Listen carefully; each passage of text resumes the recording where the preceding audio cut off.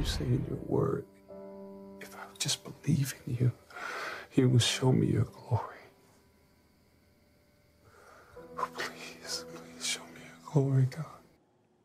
That is a clip from the movie A Question of Faith. The Christian drama will air Easter Sunday, next Sunday on Lifetime, hoping to bring a message of faith and mercy to millions of Americans who will be forced to celebrate the holiday at home. Let's bring in now Angela White. Angela White is the producer of A Question of Faith. And Angela, so great to have you. This film is now. It is about now. Tell us what it's about. Thank you, Arthel, for having me. It's so wonderful to be back with you.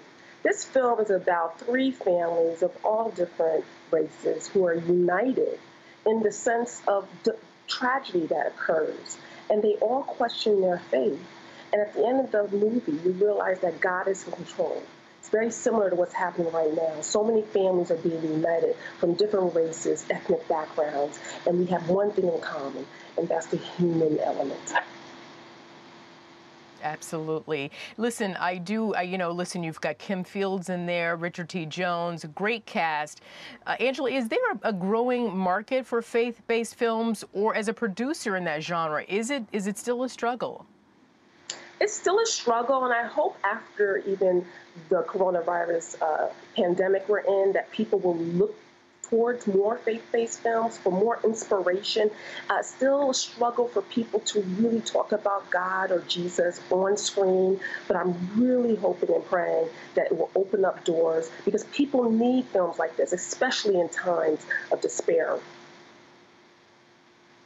Yeah, well, I mean, you're right, because in A Question of Faith, tragedy links three families together. The coronavirus pandemic has linked the universal family, yeah. you know. So, as a woman of faith, how do you think light will look on the other side of these dark days?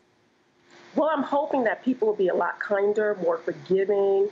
Uh, people will look at their their human neighbor as if like, hey, you're just like me. You know, sometimes we don't even put a, a personality or, or a person on situations. I think people will be more sympathetic to other people. We're all going through issues of finances right now. We're all going through issues of health or knowing somebody who this pandemic has touched. And I'm really hoping that people now will look at each other like truly their neighbor and not their enemy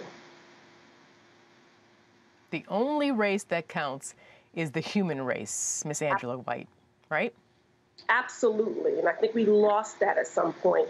So if there's any silver lining in this whole entire situation, is that people are becoming a lot more human kinder. You know, look at all the heroes that are going around the world helping others. I love it. I just love it. I really hope people get a chance to see this film and see it how it's done in a different sense of where people are definitely in despair and sorrow and grief, but they still unite at the end. Yes, I listen.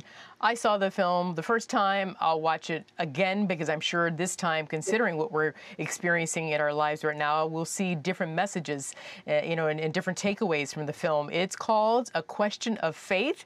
Angela White is the producer. A Question of Faith airs on Lifetime at 8 p.m. 7 Central next Sunday, Easter Sunday. And y'all, if y'all can watch Tiger King, watch A Question of Faith. Okay. Yeah. Thank you very much, Angela White. Thank you.